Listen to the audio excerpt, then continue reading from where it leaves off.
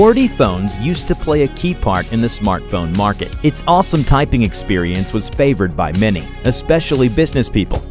Well-known brands like BlackBerry, Nokia, and Motorola have all launched their classic QWERTY phones. Due to the development of touchscreen technology in pursuit of a high screen ratio in the market, keyboards are replaced by larger screens, while modern smartphones gradually become more alike with the same big screens.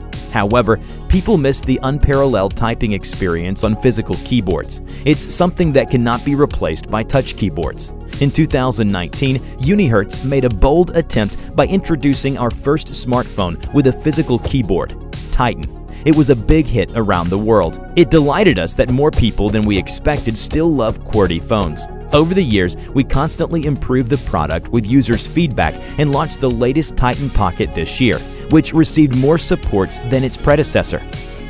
Even though it may not be the mainstream again, as long as there are still fans for QWERTY phones, Unihertz will keep creating new classics as we have always been.